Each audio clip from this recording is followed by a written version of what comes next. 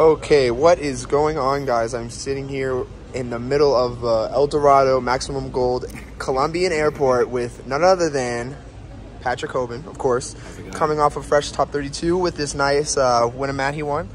and uh, of course, the shout out to RMC. Yeah. Um, but uh, how was your weekend? Uh, what did you play and uh, how did you good. do? Uh, I played Despia, first time in Colombia. It was a really cool event. Um, yeah, let's show you. All right. Um, so I played two Aluber, um, two Tragedy, uh, Dramaturge, uh, and Ad Libitum for the Despias. And then I played three Adventure thing, one Griffin.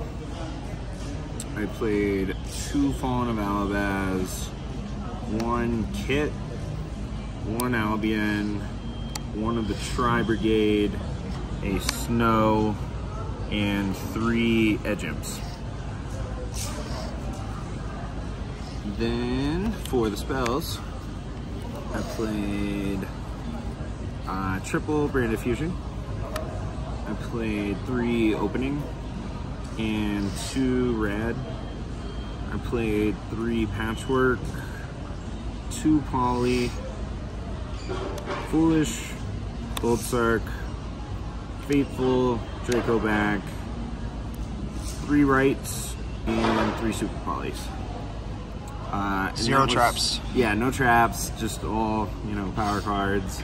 Um, this deck's pretty good at going second though, uh, and like when you play enough hand traps, like the problem with hand traps is that I feel like if you draw one, it's like worse than drawing zero because then it's like they still did the same thing, but now you're playing with five cards instead of six.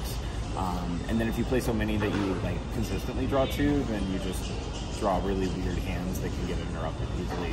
Um, so instead, I just played a bunch of like extenders and things like that over hand traps. Um, for the extra deck, I played three Albion. I played two Mirrorjade. Did the third come up a lot where you needed uh, to go through like cycling? Yeah, so the third one comes up just because the first turn you often use two, um, uh, just with the regular branded fusion play, and then the, the last one's like good for later on in the game. Um, I played two Lubellion, um, one Tri Brigade. Tri was fine. Um, I used it multiple times, but it was like at points where I was already winning, so I don't know if the card was necessary. Um, I played two Masquerade. Um, Masquerade is definitely one of the highlights of the deck this weekend. Yeah, that's how I lost to Andres. You made double masquerade.